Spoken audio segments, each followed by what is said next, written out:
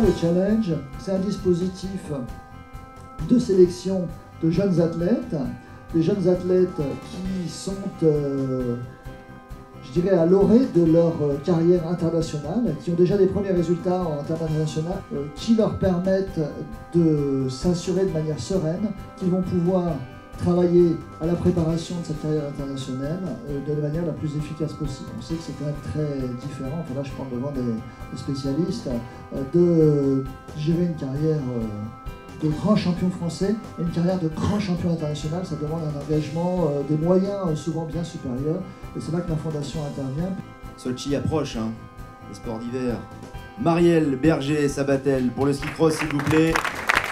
Bienvenue Marielle, bravo, félicitations. En 2013.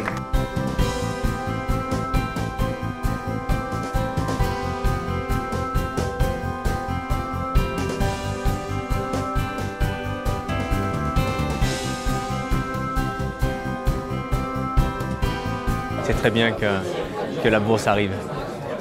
Euh, la saison se prépare bien, on a déjà pas mal enchaîné de journées sur les glaciers.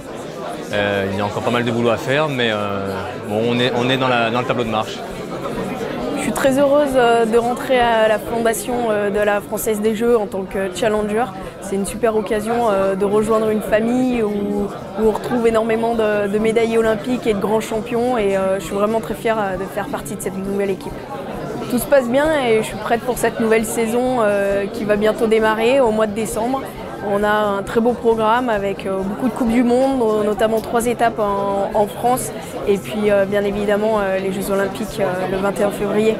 Les JO, c'est vraiment une course très importante. Je pense que c'est une chance de pouvoir les vivre et c'est une course qu'aucun athlète n'oublie et que tout le monde a envie de vivre dans sa carrière.